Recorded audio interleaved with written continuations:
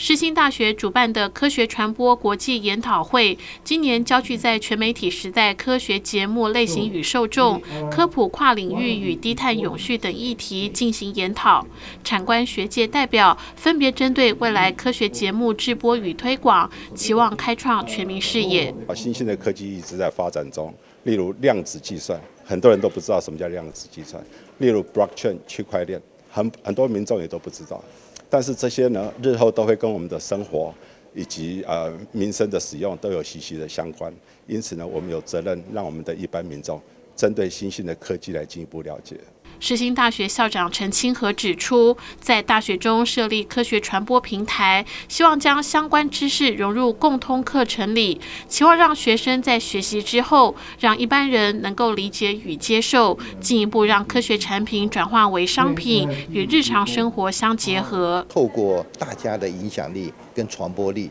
把我们的一些科学想法能够推展出去。那这样我们的推动过程里面呢？也让我们的产业就能够很快的让它的完成的科学的产品，很快的能够变成一个商品。然后就变成我们一般的生活里面的一种结合。研讨会上邀请到电视台资深媒体从业人员，分别就媒体生态与自然科学纪实节目以及知识传播挑战等议题进行解说，并分享工作中的所见所闻，期望透过国内外跨领域的意见交流，开拓大众科学传播理论与实践的新视野。记者刘德瑜采访报道。